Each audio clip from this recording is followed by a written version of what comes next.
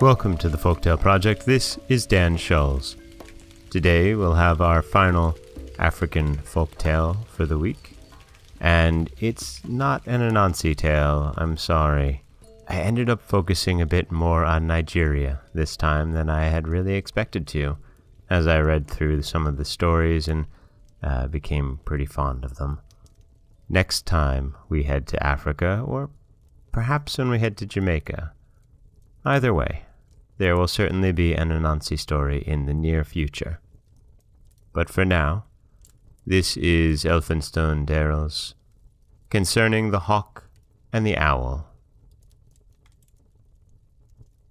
In the olden days, when Effiong was king of Calabar, it was customary at that time for rulers to give big feasts, to which all of the subjects and all of the birds of the air and animals of the forest, also the fish and other things that lived in the water, were invited.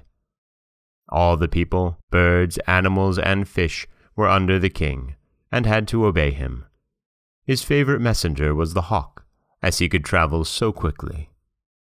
The hawk served the king faithfully for several years, and when he wanted to retire, he asked what the king proposed to do for him, as very soon he would be too old to work any more. So the king told the hawk to bring any living creature, bird or animal, to him, and he would allow the hawk for the future to live on that particular species without any trouble. The hawk then flew over a lot of country, and went from forest to forest until, at last, he found a young owl which had tumbled out of its nest. This the hawk brought to the king, who told him that for the future he might eat owls. The hawk then carried the owlet away and told his friends what the king had said.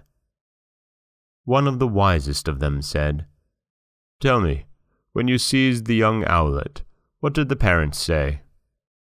And the hawk replied that the mother and father owls kept quite quiet and never said anything. The hawk's friend then advised him to return the owlet to his parents, as he could never tell what the owls would do to him in the night time, and, as they had made no noise, they were no doubt plotting in their minds some deep and cruel revenge. The next day, the hawk carried the owlet back to his parents and left him near the nest. Then he flew about, trying to find some other bird which would do as his food. But as all the birds had heard that the hawk had seized the owlet, they hid themselves, and would not come out when the hawk was near. He therefore could not catch any birds. As he was flying home, he saw a lot of fowls near a house, basking in the sun and scratching in the dust. There were also several small chickens running about and chasing insects, or picking up anything they could find to eat with the old hen following them and clucking and calling to them from time to time. When the hawk saw the chickens, he made up his mind that he would take one, so he swooped down and caught the smallest in his strong claws. Immediately after he seized the chicken, the cocks began to make a great noise, and the hen ran after him and tried to make him drop her child, calling loudly with her feathers fluffed out and making dashes at him. But he carried it off, and all the fowls and chickens at once ran screaming into the houses, some taking shelter under bushes, and others trying to hide themselves in the long grass. He then carried the chicken to the king, telling him that he'd return the owlet to his parents, and he did not want him for food. So the king told the hawk that for the future he could always feed on chickens. The hawk then took the chicken home, and his friend who dropped in to see him asked him what the parents of the chicken had done when they saw their child taken away. So the hawk said, They all made a great lot of noise, and the old hen chased me. But although there was a great disturbance among the fowls, nothing happened. His friend then said, as the fowls had made much palaver, it was quite safe to kill and eat the chickens, as the people who made plenty of noise in the daytime would go to sleep at night and not disturb him, or do him any injury. The only people to be afraid of were those who, when they were injured, kept quite silent. You might be certain, then, that they were plotting mischief, and would do harm in the night time.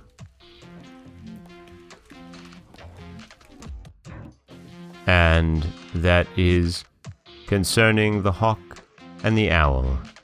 a Nigerian folktale gathered for us by Elphinstone Dayrell. And in it we see a hawk and a wise hawk decide what the future of his species will eat in peace, and wisely giving up the owl, because we all know that the owl, well, he holds quite a grudge. This is Dan Schultz for the Folktale Project.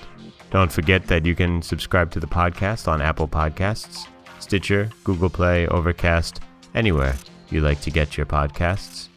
You can also follow us on Twitter at Folktale Project.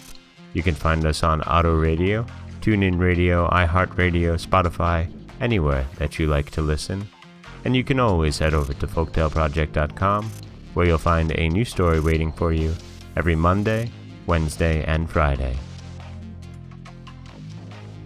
Next week, we'll be heading off to one of my favorite regions in all of folkloredom, the Philippines, where we'll hear not one, but two origin stories and get a chance to kind of compare the two. So until next week, as always, thank you so much for listening.